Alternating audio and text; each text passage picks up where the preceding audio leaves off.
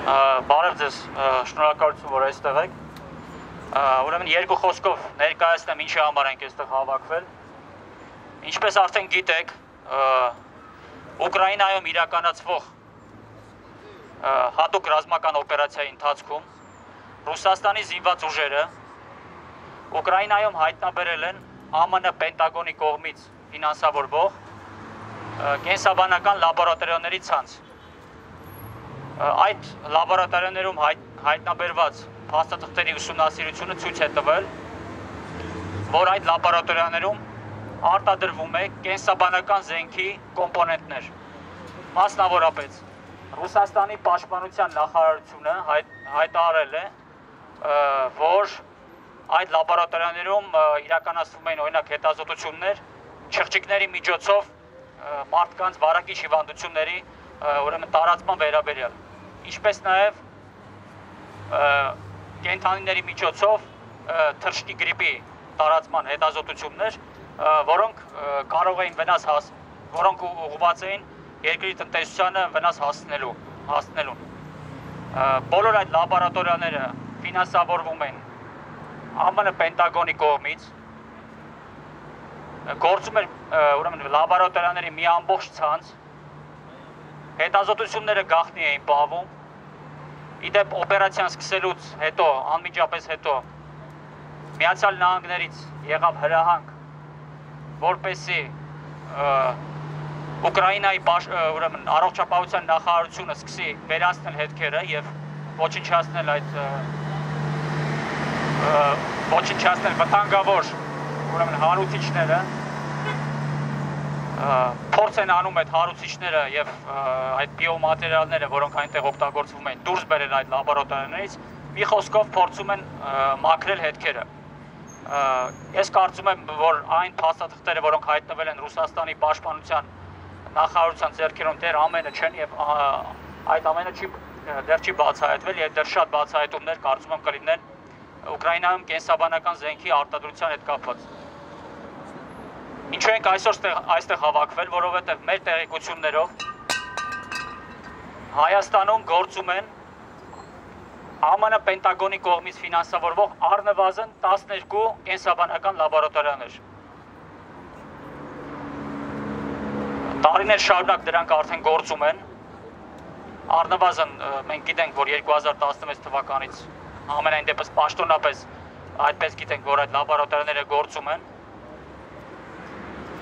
Եվ մենք այստեղ հարց ենք բարձրացնում ելնելով այն պրակտիկայից, որ Միացյալ Նահանգները իրականացնում էին Ուկրաինայում։ Իսկ կարող է պատահել, որ Հայաստանում եւս տարիներ շարունակ այդ ամերիկյան լաբորատորիաներում իրականացվել են ռազմական նշանակության հետազոտություններ։ Հաշվի առնելով նաև այն փաստը, որ Միացյալ Նահանգները ամբողջ հետխորհրդային տարածքում նման լաբորատորիաների ցանց ունեն։ Եվ Վրաստանում կա, եւ Հայաստանում կա, եւ Ղազախստանում, Ուկրաինա, կա նաեւ Ադրբեջանում եւ այլն։ Այսինքն մենք մտավախություն ունենք, որ այդ լաբորատորիաներում կարող էին իրականացվել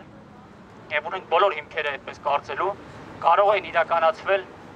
ռազմական բնույթի հետազոտություններ։ Մանավանդ հաշվի առնելով այն հանգամանքը, որ այդ լաբորատորիաները ֆինանսավորվում են ոչ թե ԱՄՆ պաշտպանության, ոչ թե ԱՄՆ առողջապահության նախարարության կողմից, այլ ԱՄՆ պաշտպանության նախարարության։ Այսինքն ինչու է հենց պաշտպանության նախարարությունը, Պենտագոնը դա ֆինանսավորում։ Արդյոք դա կապված չէ նրա հետ, որ Պենտագոնը ունի ռազմական նպատակներ եւ ռազմական խնդիրներ է իր արժեվ դնում, հետեւաբար այդ լաբորատորիաներում անհրաժեշտ է իրենք փորձում են անհրաժեշտ է արտադրել կենսաբանական զենքի օրինակ կոմպոնենտներ, որոնք կարող են օգտագործվել տարածաշրջանի երկրների, ինչպես նաև Ռուսաստանի Դաշնության կամ մեր հարևան օրինակ նույն նույն Իրանի դեմ։ Ուրեմն բոլոր լաբորատորիաները պաշտոնապես գտնվում են առողջապահության նախարարության ուրեմն այս բալանսի տակ, այսպես կոչված։ Եվ այդ լաբորատորիաների կուրացիան իրականացնում է հիվանդությունների վերահսկման եւ կանխարգելման կենտրոնը։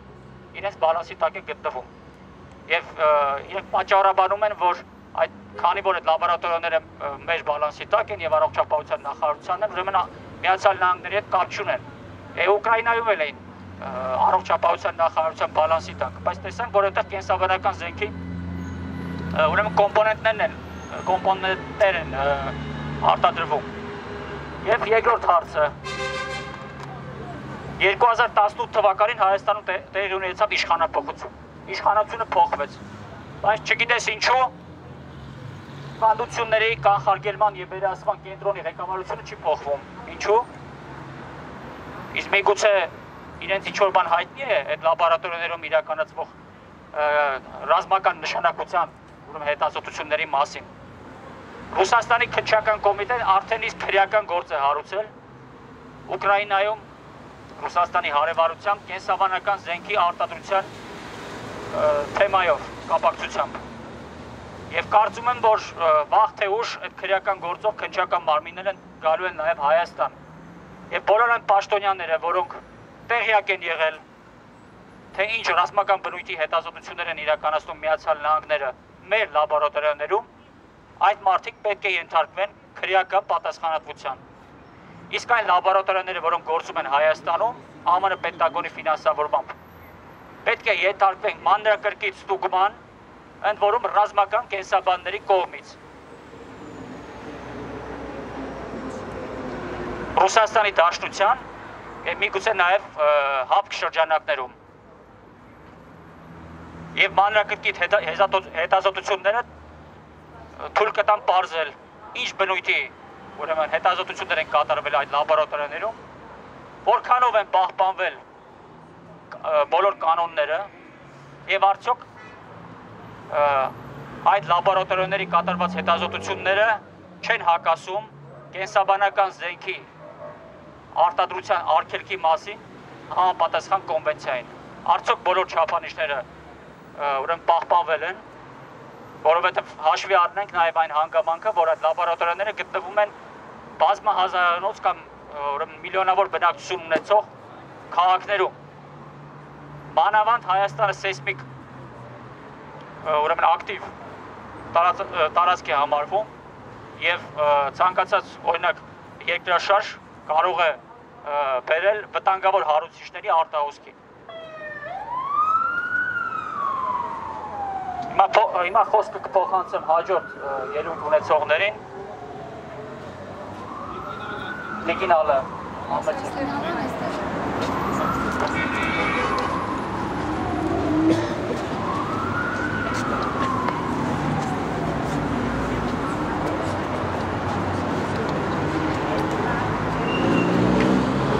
ես լսվում է, հա? Լսվում է։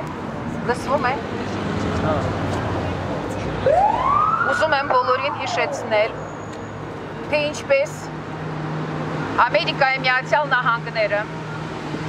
երկրորդ համաշխարհային պատերազմի արդեն ավարտած բացարձակապես ծնկի բերած ֆաշիզմի օրերին ռմբակոծեցին ատոմային ռումբով Նագասակի եւ Խիրոսիմա քաղաքները։ Ուզում եմ նաև հիշեցնել, որ սովետական միության Իոսիֆ Ստալինը հարց բարձացրեց երկրորդ համաշխարհային պատերազմից հետո, որպեսի վերադարձվեն արևմտյան Հայաստանի հողերը։ Անմիջապես հավաքական արևմուտքը, ում ընդամենը մի քանի ամիս առաջ ազատագրել էր սովետական ժողովուրդը ֆաշիզմից, դրանց ղեկավարները Ստալինի առաջ հարց դրեցին։ Նայիր, մենք կռմբակոծենք նույն ատոմային ռումբով եւ քո քաղաքները, եթե դու հետապնդես Արևմտյան Հայաստանի հողերի վերադարձը։ Հիմա հարց. այդ որ պահից առանց մտածելու, առանց խղճի խայթի երկու մեծ քաղաք բնակչություն, անմեղ բնակչություն ռմբակոծվեց Եվ այսօր դուք հանկարծակի կարդացեք այստեղ ինչ է գրված։ Հիվանդությունների կանխ արգելման։ Դա ուղակի հեգնանք է բոլորի վրա։ Նրանք չեն արգելում հիվանդությունները։ Հակառակ ցկտում են ամեն ինչ անել, որպեսի տարածվեն այդ հիվանդությունները։ Ասեմ, ինչու եմ ես այդպես մտածում։ Եվ որ ֆիզիկոսներին նախագահ Էյզենխաուերը հրավիրեց իր մոտ եւ նրանք բացատրեցին, որ ատոմային ռմբակոծումից հետո 500 տարի դեռ սովետական միության հողերում մարդ էակը չի կարող բնակվել, այդ պահից Ամերիկայի Միացյալ Նահանգների նախագահան ասեց այդ դեպքում մտածեք մեկ այլ զենք։ Այդ մեկ այլ զենքը դարձավ կենսաբանական զենքը։ Ես մասնագետ չեմ, բայց անձամբ 2018 թվականի հոկտեմբերի 4-ին լսել եմ Ռուսաստանի Դաշնության Игорь Кирилловин, командующий войсками биологической и радиоактивной химической защиты. Որտեղ նա բացատրեց, որ գրեթե բոլոր, այնտեղ սլայդեր կային, գրեթե բոլոր նախկին հանրապետություններում ստեղծված են կենսաբանական լաբորատորիաներ, որտեղ հատուկ, որտեղ հատուկ մոնոէթնիկ արյուն է վերծվում, ոչ թե խառը, այլ այսինք հայի, ռուսի, ես չգիտեմ ուրալից են կողմ ապրող, չուկչայի, յակուտի արյունը վերծվում է, որպեսի ինչ-ինչ զենք ստեղծելով, հենց այդ մոնոէթնիկ ազգը վերանա։ Այսինքն այն ինչ որ ասել էր Eisenhower-ը, որպեսի շինությունները կանգուն մնան, գործարաններ, շենքերը կանգուն մնան, այդ մարդկանց, ում համար որ ուզում են ազատագրեն այս տարածքները, մենք եւ մնացած բոլոր տեղերում 15 հանրապետությունների մարդիկ չլինեն, բայց ազատ մնա հողերը եւ պահպանվեն ամեն տեսակ գործող թե գործարաններ, թե շինություններ։ Հիմա մենք ինչի պետք է հավատանք, որ Հիրոսիմա եւ Նագասակի ռմբակոծած երկիրը այնքան մարդասեր է դարձել, որ եկել է եւ տասնյակ հազարավոր կիլոմետր այն կողմ իր մայր ցամաքից գտնվող Հայաստանում մտահոգվել է հայի առողջությամբ։ Ես որպես հայուհի դրան չեմ հավատում։ Դրա համար ես այսօր այստեղ եմ եւ խոսում եմ կանանց խորհրդի անունից։ Մենք վերջերս ֆորում արեցինք աշխարհն առանց նացիզմի։ Ռուսաստանի հետ ուժեղ դաշնություն ստեղծելու նոր շարժում է ձևավորված արդեն 1 տարի եւ կանանց խորհրդի նախագահան ես եմ, ես որպես սովորական հայուհի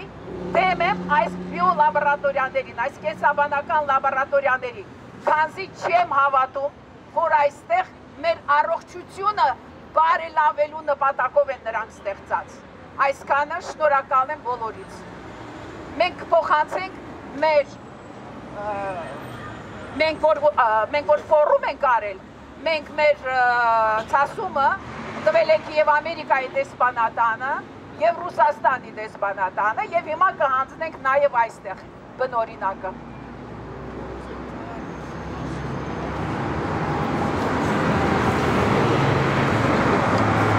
ուրեմն միջ միջ մյուս երեք ունեցողին խոսքը փոխանցելը նաև ուզում եմ հիշեցնել, որ 2017 թվականին Ռուսաստանի Դաշնության նախագահ Վլադիմիր Պուտինը հայտարարեց, որ ամբողջ Ռուսաստանով մեկ հավաքվում է տարբեր էթնիկական խմբերի կենսաբանական այդ մատերիալը։ Ինչ-ինչ նպատակներով։ Այսինքն եւ այսօրվա իրադարձությունները ցույց են տալիս, որ ամենայն հավանականությամբ այդ ԱՄՆ Պենտագոնի կողմից ֆինանսավորվող լաբորատորիաներում մշակվում է հատուկ կենսաբանական զենք, որը ուղղված է կոնկրետ կոնկրետ էթնիկական խմբերի դեմ։ Հիմա խոսքը կփոխանցեմ լրագրող Արտուր Հովանեսյանին։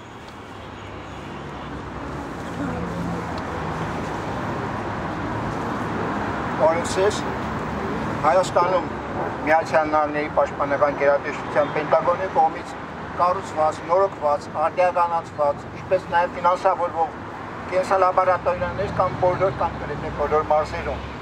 Իհարկե կեսալաբորատորիաներից առնվազն 3-ը Երևանում են, կան նաև Գյումրիում, Իջևանում, Սիսիանում, Մարտունիում, Վանաձորում, Արտաշրջում։ Նախնական տեղեկությունների համաձայն դրանց տանուր քանակը հասնում է 12-ի, հիմա գուցե արդեն ավելին է։ Պենտագոնի պաշտպանական սպառնալիքների նվազեցման գործակալության ֆինանսական եւ ոչ միայն ֆինանսական աջակցությամբ գործող այդ կենսալաբորատորներից մեկը օրինակ Երևանի Ավան վարչական շրջանի Դավիթ Մայլյան TV37 հասցեում գործող Հայաստանի առողջապահության նախարարության հիվանդությունների վերահսկման եւ կանխարգելման ազգային կենտրոնի ռեֆերենս լաբորատորիան է։ Իշար կենսալաբորատորիաների ստեղծման ու վերահսկման համար ամերիկյան կողմը հատկացրել նվազած 50 միլիոն դոլար։ Չնայած կորոնավիրուսային համավարակի տարածման պայմաններում ամերիկյան կենսալաբորատորիաների հետ կապված մեր երկրի բնակչության դժգոհության աճին Հայաստանի կառավարությունը նույնպես Պենտագոնի պաշտպանական սպառնալիքների նվազեցման գործակալության հետ համատեղ կենսաբանական նվազեցման գործակալության հետ համատեղ կենսաբանական գործնեության ծրագրի շրջանակներում կնքված համաձայնագիրը 2019 թվականին երկարացիկել է, ինչպես եւ երկարացիկել է Ուկրաինայի կառավարությունը։ Հայաստանի իշխանությունները ամենին կանաչ լույս են տվել ծրագիր իրականացնել առնվազն մինչև 2025 թվականը։ Ավելին, Պենտագոնը մտադիր է Հայաստանի հետ համագործակցությունը 2025 թվականից հետո եւս շարունակել հիվանդությունների առանձնապես վտանգավոր հարուցիչների, ախտացիների ուսումնասիրության գործում։ Գիտեմ 2019 թվականից ծրագիրն ավանափոխվել է, կոչվելով կենսաբանական ռիսկների նվազեցման ծրագիր, իսկ իրականում հատկապես վերջերս Ուկրաինայի կենսալաբորատորիաների հետ կապված սկանդալային բացահայտումներից հետո կարծում եմ նույնիսկ գրեթե համոզված է, որ այդ շիրմայի տակ կատարվում է ճիշտ հագարակը կենսաբանական լճակուն ռիսկերն ավելացվում են։ Մեկ անգամ եւս հրապարակային կերպով հարցնում եմ. Ուկրաինայի կենսալաբորատորիաների առողջությամբ Ռուսաստանի պաշտպանության նախարարության սկանդալային բացահայտումներից հետո ով կարող է իր աշխատավորել, որ առանձնապես վտանգավոր վիրուսների եւ բակտերիաների առավել ագրեսիվ, այսինքն ավելի բարձր տոկոսի մահացության հանգեցնող առավել վարակիչ շտամներ ստանալու նպատակաուղղված աշխատանքներ չեն կատարվել ու չեն կատարվում նաև Պենտագոնի կողմից ֆինանսավորվող հայաստանյան կենսալաբորատորիաներում։ Ով կարող է բացառել վերոնշյալ կենսալաբորատորիաներում որոշակի էթնիկ խմբերին խոցելու համար նախատեսված կենսաբանական զենքի, տվյալ պարագայում գենետիկական զենքի մշակման աշխատանքների իրականացումը, ինչը բավարար հիմքեր կան ընդդադրելու Ուկրաինայում արվել է։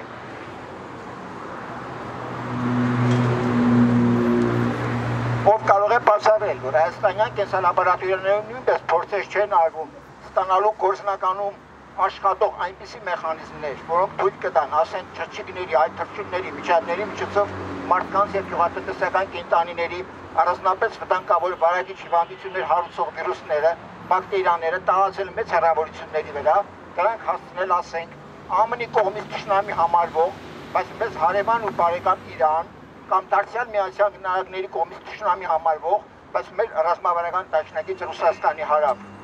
Սրանք իհարկե ռետորիկան հարցեր են, քանի որ համոզված եմ, որ ոչ ոք չի կարող երաշխավորել ու բացառել։ Հակառակը միանգամայն բավարար հիմքեր կան առնվազն ենթադրելու, որ Հայաստանում գործող եւ Պենտագոնի ֆինանսավորում ունեցող կենսալաբորատորիաներում կամ թեկուզ դրանց մի մասում նույնպես իրականացվել եւ իրականացվում են Միացյալ Նահանգների ռազմակենսաբանական որոշ ծրագրեր, կենսաբանական զենքի նորագույն նմուշների կամ դրանց առանցին բաղադրիչների ստեղծման ուղղությամբ, ինչպես միջև վերջերս իրականացվել է Ուկրաինայում։ Ամենայն դեպս հիմնավոր կասկածներ կան, որ մեր երկրում գտնվող ամերիկյան ֆինանսավորման կենսալաբորատորիաներում եւս իրականացվել եւ իրականացվում են ԱՄՆ-ի ռազմակենսաբանական կողմի ծրագրեր, ինչն էին տալիս դեոնիշալ ենթադրության ու կասկածների համար։ Նախ Հայաստանի ոստիկանական բռնապետության վարչապետի պարտոնը զբաղեցնողի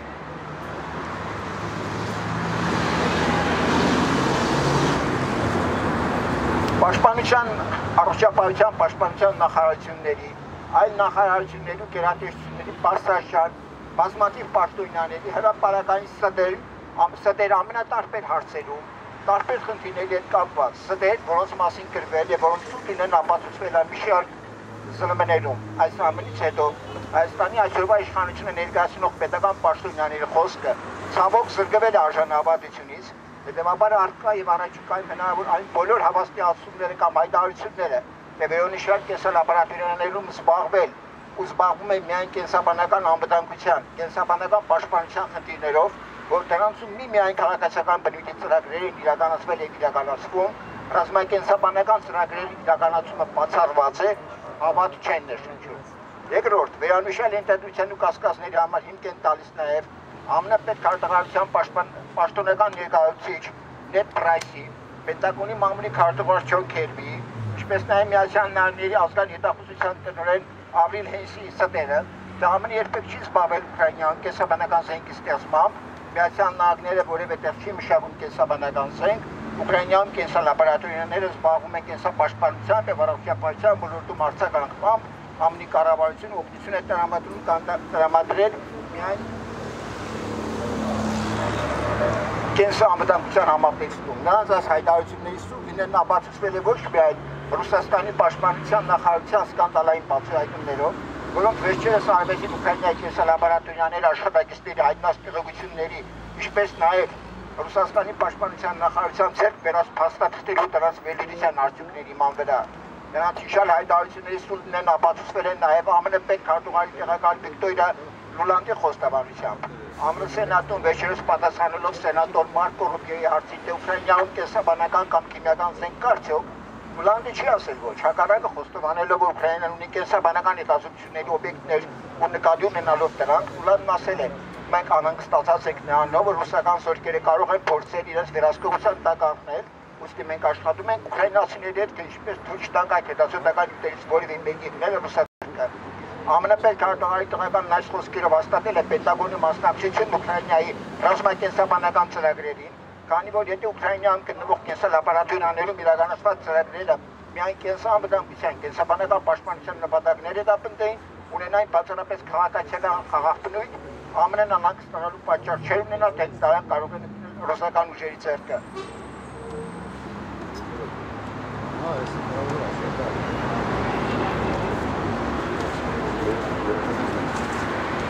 Վերոշրադերյալ նկատի ունենալով արցանագրում եմ, որ ԱՄՆ համապատասխան պաշտոնյաների հայտարարությունները Պենտագոնի ֆինանսական աջակցությամբ գործող կենսալաբորատորիաներում իրականացվող ծրագրերի զուտ քաղաքացիական բնույթ ունենալու կենսանվտանգության կենսապաշտպանության նպատակներ հետապնդելու վերաբերյալ արդեն ապացուցված կեղծիքներ են։ Երրորդ, վերոնիշյալ ենթադրության ու կասկածների համար հիմք են տալիս նաև infoport.am համացանցային կայքում 2021 թվականի ապրիլի 9-ին հրապարակված ԱՄՆ բիոլոգիական, նաև կենսաբանական լաբորատորիաներ Հայաստանում, Պենտագոնը զարգացնում է մահացու վտանգավոր վիրուսների հետազոտության մասշտաբները վերտարության պետաքննական հոդվածում արկա տեղեկությունները։ Մասնավորապես տնանց համաձայն Հայաստանում ամերիկյան կենսաբանական նախագծերի հետ առնչություն ունեցող ինֆորպորտների աղբյուրները հմտագրությանն են տրամադրել փաստաթղթեր, որոնք մանրամասներ են բացահայտում Հայաստանի տարածքում ԱՄՆ ռազմակենսաբանական գործունեության մասին Ուսումնասիրելով նշված փաստաթղթերը կայքի խմբագրությունը մտավ վիշեզրանման եկել առայն, որ ամերիկյան ռազմական գերատեսչության ներկայացուցիչները մեր երկրի կենսաբանական հետազոտությունների ոլորտում ունեն անսահմանափակ հասանելիություն եւ առավելագույնս հետաքրքրված են հատկապես վտանգավոր հարցիչների, մատոգենների հետ աշխատանքի հարցում, որոնք Պենտագոնը Պենտագոնը երկար ժամանակ ուսումնասիրել եւ փորձարկել է որպես կենսաբանական զենք։ 2020 թվականի մայիսի նույն հրապարակման համաձայն մեջբերում եմ Հայաստանի արտաքին գործերի նախարարի մամուլի քարտուղարը լրագրողներին ու հանրությանը հեշտական անգամ վստահեցրել էր, որ ԱՄՆ պաշտպանական գերատեսչության կողմից ֆինանսավորվող եւ Հայաստանի տարածքում գործող բիոլաբորատորիաները վերահսկվում են բացառապես Հայաստանի պատկան մարմինների կողմից սակայն մեր ցերկի տակ հայտնված փաստաթղթերը միանգամայն հակառակ պատկերն են ցույց տալիս, վկայելով, որ լաբորատորիաների գոյությունը մասշտաբային վերահսկողության է ընտրվում ամերիկյան վերահսկողների կողմից։ Այսպես, օրինակ 2020-2025 թվականներին Հայաստանում իրականացվող ԱՄՆ կենսաբանական գործունեության ծրագրում, որն ըստ էության Հայաստանի եւ ԱՄՆ պաշտպանության նախարարության ռիսկերի նվազեցման գործակալության միջև կնքված պայմանագիր է, բաննանշվում է, որ եթե հայկական կողմը հրաշալի կատարել որևէ պահանջ, ապա ամերիկյան կողմն անապահ դատարեցնում է ֆինանսավորումը։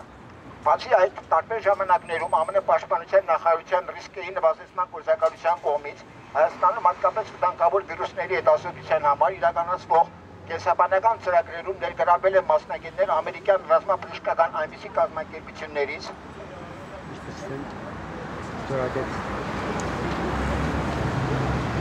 ինչպեսիք են ռազմածովային բժշկական հետազոտական կենտրոնը, Ուելտեր Ռիդի անվան ցամաքային զորքերի գիտահետազոտական ինստիտուտը, ինչպես նաև ԱՄՆ զինված ուժերի ինֆեկցիոն հիվանդությունների գիտահետազոտական ինստիտուտը։ Գիտեք, 2018 թվականի մայիսին, երբ Հայաստանում իշխանության եկավ Նիկոլը, Միացյալ Նահանգները հանգարց առանց արտաքնապես երևացող որևէ պատճառի, դե իսկ մենք հասկանում ենք, չէ, որ ստեղծված բարենպաստ առիթից օգտվելով մեր երկրում ամերիկյան ռազմակենսաբանական ծրագրերը նոր թափով առաջ մղելու հնարավորությունից ողջևորված Հայաստանում իր ռազմակենսաբանական ծրագրի իրագործման համար ղեկավարը նշանակել Պենտագոնը Women Brent Siegel-ին, որը մինչ այդ ԱՄՆ-ի նմանատիպ ռազմակենսաբանական ծրագիրն է ղեկավարել որտեղ դե իհարկե Ուկրաինայում։ Չորրորդ, վերոնիշյալ հետադրության ու կասկածների հիմք է տալիս այն փաստը, որ Պենտագոնի ֆինանսավորմամբ կենսալաբորատորիաներում կատարվող աշխատանքների արդյունքները մնում են կախնիկ հայաստանյան ու միջազգային հանրության համար։ 5-րդ Վերը նշված ենթադրության ու կասկածների հիմք է տալիս նաև այն փաստը, որ Ռուսաստանի եւ Հայաստանի միջև հիշյալ կեսան լաբորատորիաներ Ռուսաստանի մասնակիցների մուտքի վերաբերյալ դեռ ընդգծում եմ 2018 թվականից բանացվող ուշագրի ստորագրումը Հայաստանի իշխանությունը զբաղեցնողների կողմից արհեստականորեն ցկցկվել է 2021 թվականի մայիսի շուրջ 3 տարի հետո նոր միայն ստորագրվել է կենսաբանական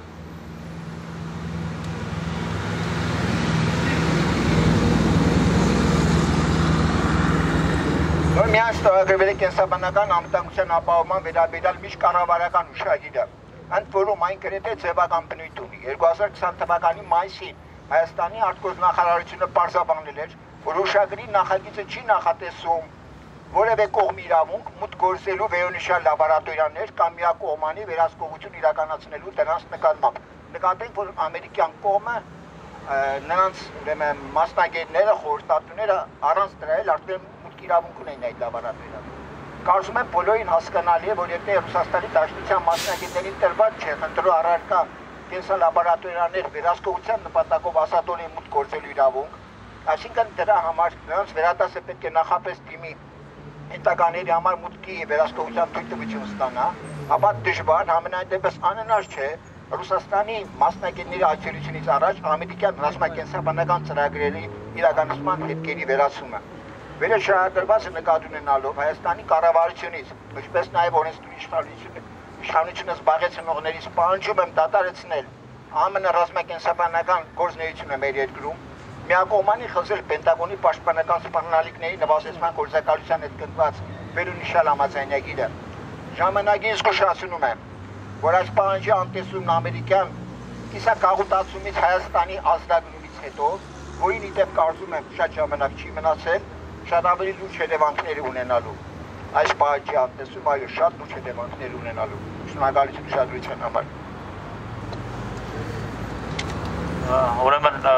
հիմա կփոխանցեմ հաջորդ երույթ ունեցողին, բայց միջի այդ հիշեցնեմ, որ եթե օրինակ միջուկային զենքի դեմ կա հակազենք, ապա կենսաբանական զենքի դեմ հակազենք գոյություն չունի։ Կենսաբանական զենքը չի հարցնում ոչ տարիք, ոչ սեր, ոչ ազգություն, ոչ էթնիկական պատկանելություն եւ այլն։ Իդեպ նաեւ հիշեցնեմ, որ Միացյալ Նահանգներում արգելված է Միացյալ Նահանգների ներսում ռազմական նշանակության կենսալաբորատորիաների գործունեությունը։ Այսինքն իրենք իրենց մոտ արգելել են,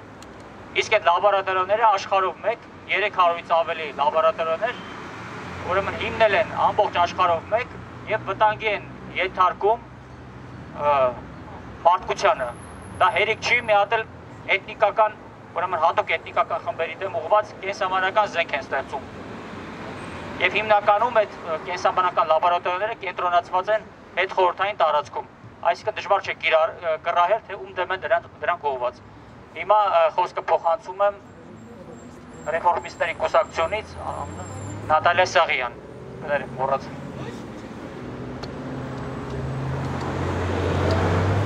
Բարև ձեզ, լսվում է։ Այո, այո։ Այո, նորից ես եմ։ Այսօր դարձյալ կխոսեմ անգլերեն, որպեսզի վերադասները այն մարդկանց, ովքեր աշխատում են այս շենքում, հասկանան մեր այստեղ հավաքվելու իմաստը։ Uh, it's me again. It's becoming a pattern for me to speak English on such gatherings, but it's okay, I'm fine with it.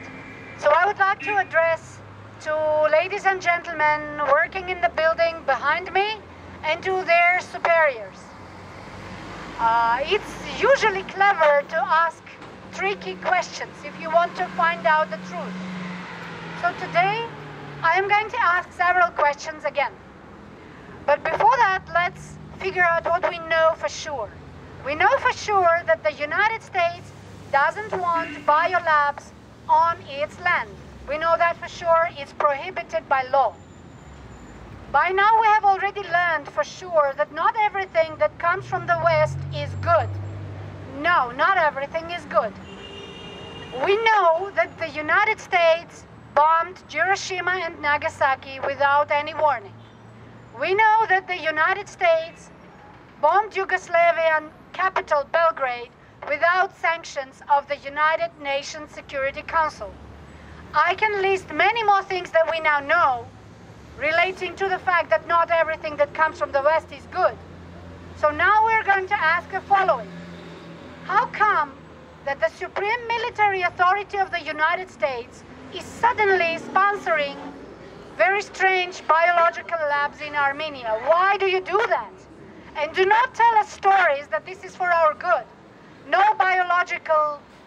research whatsoever can be for our good if you're collecting genetic material of a very particular ethnicities.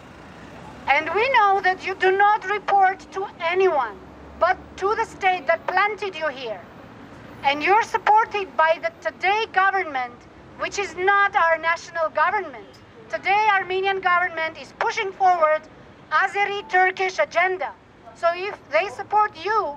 then we cannot support you. It's a basic logic. And if we draw these simple parallels, we will understand, I'm sure, that you're not wanted here. Because we don't know why are you here. This sort of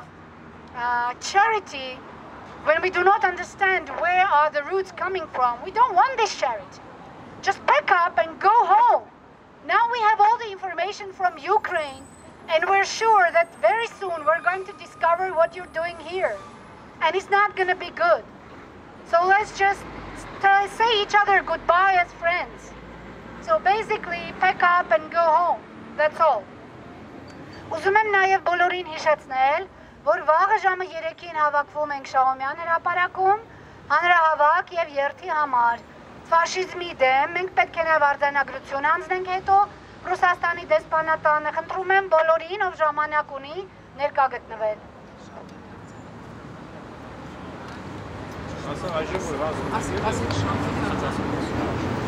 Ուրեմն հիմա նավակը կհանձնվի, բայց մինչ այդ երկու բառ եւս ուզում եմ հիշեցնել։ Ուրեմն ժամանակին երրորդ ռեյխը, այսինքն ժամանակին երրորդ ռեյխը, այսինքն Հիտլերը, նացիստական Գերմանիան, եւս մշակում էր կենսաբանական զենք եւ քիմիական զենք։ Եվ այդ եւ այդ զենքը օգտագործում էր հայրենական մեծ պատերազմի ժամանակ ԽՍՀՄ դեմ եւ նաեւ այդ զենքով փորձարկումներ էր անում խաղաղ բնակչության դեմ։ Հիմա այսօրվա Միացյալ Նահանգները այսօր եւ իրենց դաշնակիցները այսպես կոչված ամերիկյան դեմոկրատիան դա այն ժամանակվա նացիզմի շարունակությունն է։ Ուղղակի արտաքին տեսքն է փոխել, դարձել է անգլոսաքսոնական նացիզմ։ Եթե առաջ գերմանական նացիզմ էր, որը իդեպ ծնվել է բրիտանական ռասիզմի գաղափարախոսներից, Հիտլերը այնտեղից էր ոգեշնչվում, այսօր կա ամերիկյան նացիզմ, կա անգլոսաքսոնական նացիզմ, համաձայն որի իրենք ընտրյալ են, իրենք բացառիկ են, իսկ մյուսները վայրենիներ են, որոնց հետ կարելի է վարվել այնպես, ինչպես իրենք ուզում են։ Վերջացավ, այդ ժամանակները վերջանում են արդեն։ Ինչպես Ռուսաստանի արտաքին գործերի նախարարությունը հայտարարեց, փասապուսաներ հետ հավաքում եք ու ռադ է կլնում Հայաստանից ձեր Ամերիկա մայրցամաքում։ Ձեր այդ այլասերված ուրեմն դաշնակիցների հետ գնացեք այնտեղ ինչ ուզում եք արեք, իրար վրա ինչ փորձարկում ուզում եք անեք։ Հայաստանից հեռու։ Եվ ընդհանրապես խսեմ տարածքից ռադ եք լինում ձեր մոտ։ Այսքանը։ Հիմա նամակն է հանձնվում եւ ավարտում ենք ակցիան։ Հա, 10 միլիոն։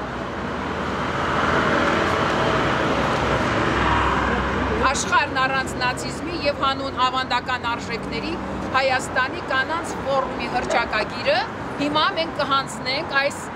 հիմնարկասեմ, չգիտեմ ինչ ասեմ, որովհետև շատ զարմանալի է, որ 2018 թվականի ելի կրկնեմ հոկտեմբերի 4-ի Իգոր Կիրիլովի բրիֆինգից ես իմացա, որ այդ կեսաբանական լաբորատորիաներում աշխատողները ունեն դիվանագիտական անձեռնմխելիություն։ Դա խորհելու տեղ է տալիս։ Ինչի իրենք պետք է ունենան դիվանագիտական անձեռնմխելիություն, եթե նրանք խաղաղ մարդասեր գործ են անում։ Խորհեք սիրելիներս։ բաս, բաս, բաս, բաս, բաս։ Չգնա կարա, չգնա կարա։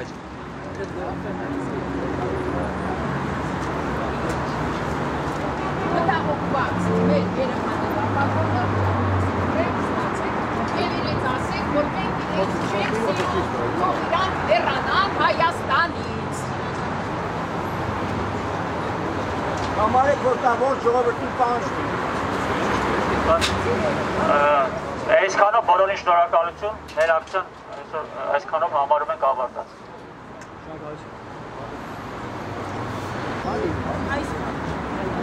լաբորատորիաներ, տեսականական լաբորատորիաների գործունեությունը Հայաստանի Հանրապետության տարածքում անում անում հետո նշանակում մեկ միացել են, այս որպես քաղաքացի, որի ակցիայի երեք էլ ես կոչ արեցի Հայաստանի իշխանություններին եւ Հայաստանի իշխանություններին որպեսզի